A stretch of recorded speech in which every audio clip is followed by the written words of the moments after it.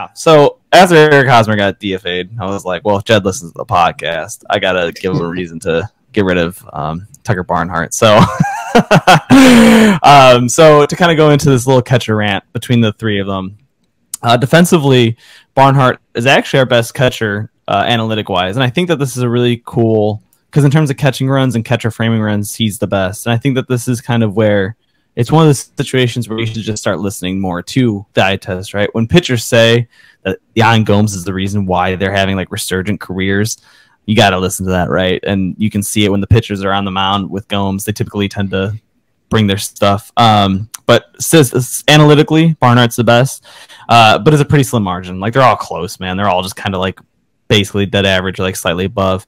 Um, when it comes into pop time, which for those of you don't know, pop time is when the ball hits the catcher's glove, and then uh, and how long it takes for it to hit his glove to hit the second baseman or shortstop's glove on a steal attempt.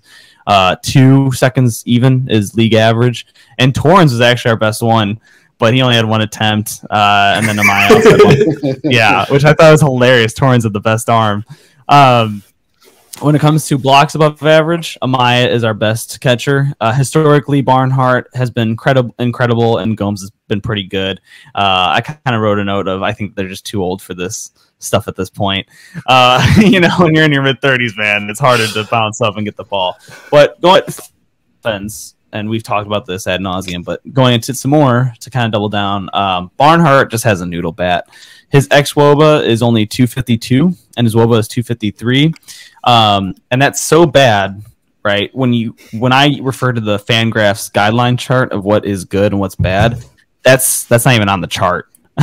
so, that's how bad of a woba the dude has. Basically, it just means that he's as close to almost an automatic out as he as he as you can get. He is so bad that he is at Austin Nola levels right now, and I wish that that was a joke because if you've seen Austin Nola stats, he's been atrocious, and Barnhart is right there with them. Um, and when Jordan mentioned Miles Mastrobuoni, Mastrobuoni also has the same WOBA as Barnhart, so just to put that out there. Um, talking about the other two's bats, Gomes' bat is much better analytically. Um, so you can kind of live with that. He's around the 300 mark for the WOBA.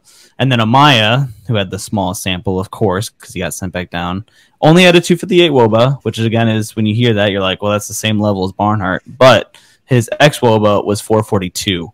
Uh, that was because he's getting unlucky with all the scorches that he's hitting. Yeah. If he could somehow, and I don't expect Amaya to do that because it's just, again, we talk about regression. If Maya, though, could theoretically stay at that like 440 mark, that would put him on pace with a guy. You may have heard of him, young talent coming in the New York Yankees named Aaron Judge. So, you know, just kind of putting that out there.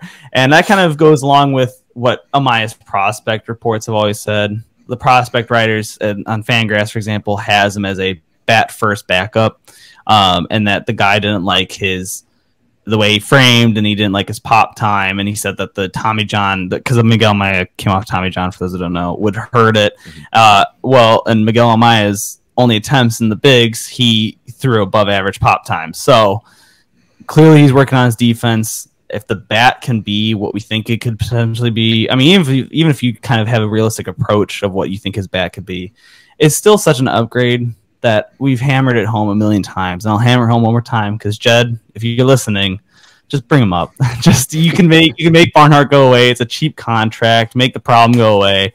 There's depth behind him. You know, if Amaya or Gomes goes down, obviously you need depth. Fine, whatever. But you can find a catcher somewhere somehow. Just bring him up, Jed. It's time, and that's all I got for that. To uh, to play off of what you're you're saying, like it, I definitely understand the statistical analysis, and it's always appreciated. And like I said, sabermetrics are a huge part of baseball now.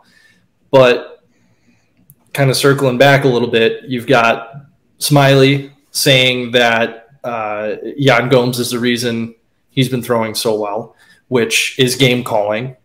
You've got before he also got sent down, you had Hayden Wesneski saying he was blown away with Miguel Amaya's game preparation and game calling. Have you heard anybody say anything at all about Tucker Barnhart's game calling ability? Because I have not. you know, it's one thing if you want to rely on the metrics, and that's great. But again, the job of a catcher is to be the quarterback on the baseball diamond. And if you've got a guy that isn't calling games well, which I think the win loss record would indicate, you got to change it.